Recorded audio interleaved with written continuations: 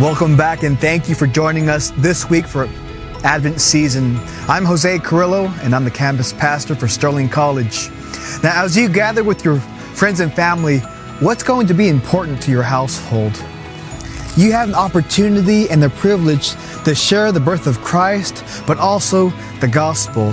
In 1 Corinthians chapter 15, verse 3 and 4, it states this For I delivered to you as of first importance what I also received that Christ died for our sins in accordance with the Scriptures, that he was buried, that he was raised on the third day in accordance with the Scriptures.